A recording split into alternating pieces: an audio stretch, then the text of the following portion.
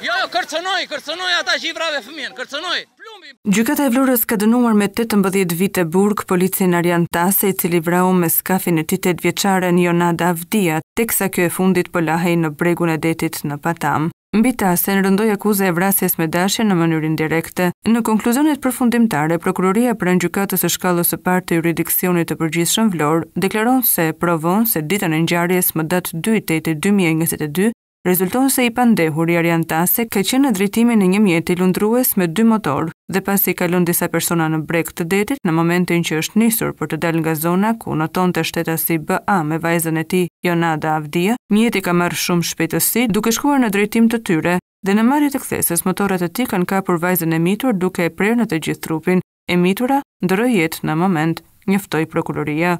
Prokuroria kërkoi pesëmbëdhjetë vite burg, ndërsa Gjykata e Vlorës ka vendosur për tetëmbëdhjetë vjet heqje lirie, pritet që Tase të apelojë vendimin.